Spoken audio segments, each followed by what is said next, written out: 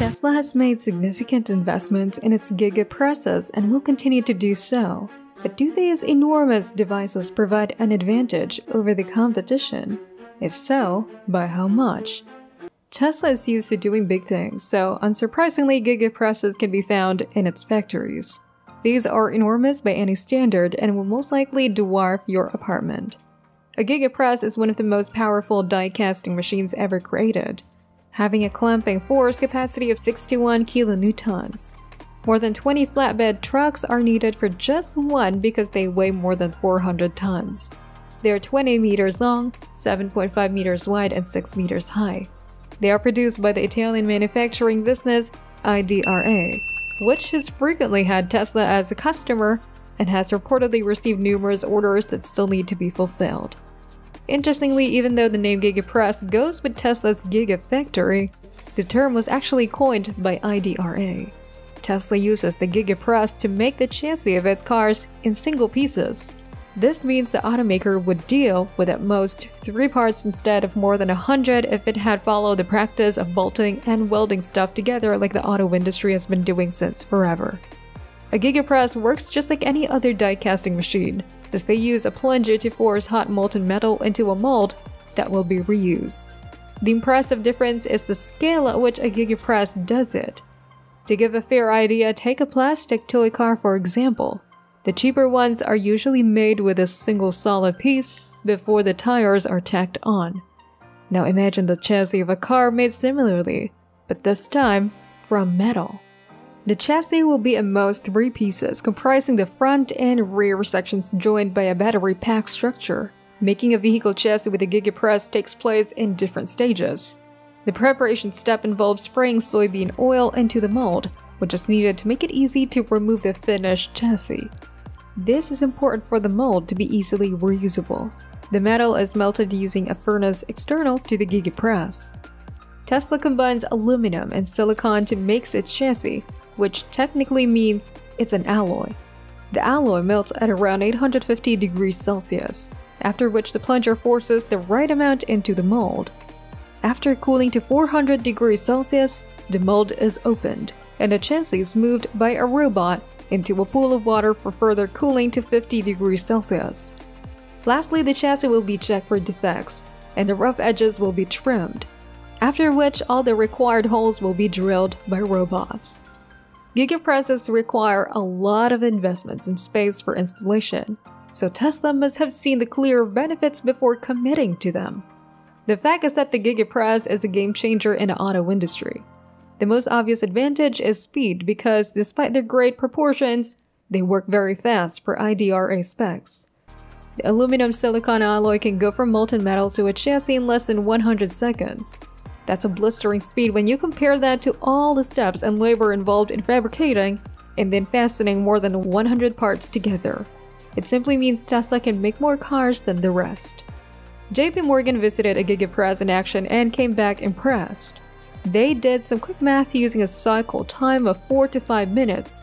They estimated that a single factory with 10 gigapresses running continuous shifts can produce 350,000 Model Y chassis in a year. And that is because the Y chassis requires 2 gigapresses. That figure goes up when the gigapresses were closer to specifications set by the maker.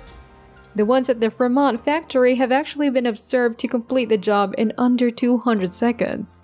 Even though they are still being optimized, this means a new factory can easily make 100,000 units in its first year of production. Such huge numbers are basically unheard of in the automaking world. Remember, Tesla wants to make 750,000 vehicles this year and 50 more next year. One of the not-so-secret weapons is the Gigapress. With Gigapresses firing away in Fremont, Austin, Shanghai, and Berlin, the target of more than a million vehicles looks reasonable. The next advantage of the gigapresses is cost savings, something Musk is fanatic about. Despite the considerable initial investment, production per vehicle costs decrease as they eliminate many operational costs. For instance, a single gigapress makes about 300 robots redundant as there is little coupling or lifting work to do. According to Musk himself, that is saying something after the debacle of his push for a robot-powered production process for the Model 3. the gigapresses actually cut down on space requirements by about 30%.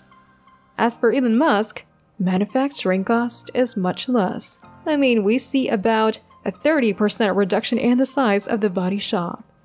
This may be surprising given the large sizes of the machines themselves. Still, less space and fewer robots means a smaller maintenance budget. People will lose their jobs, but from an economic point of view, GigaPresses makes a lot of sense. Consider the logistics involved in making more than 100 parts in different locations, monitoring them for quality and transporting them to the assembly plant. Tesla can avoid all that with its army of gigapresses. The cost of making a chassis drops by about 40% when gigapresses are involved again. Remember, Musk really wants to make a cheaper electric car. That $25,000 electric car may look more realistic with all the cost reductions here and there. We know that Tesla is setting up research and production facilities in China to find out how to make a very affordable car. A gigapress will be among the first things to be installed. The cars themselves benefit from the single-piece chassis because they are not plagued by defects inherent in welding and bolting parts together, like weak joints or misaligned parts. They also weigh less despite being structurally superior. This translates to more range for the same battery capacity. This means Tesla has found a faster and cheaper way to make better cars, overtaking its predecessors.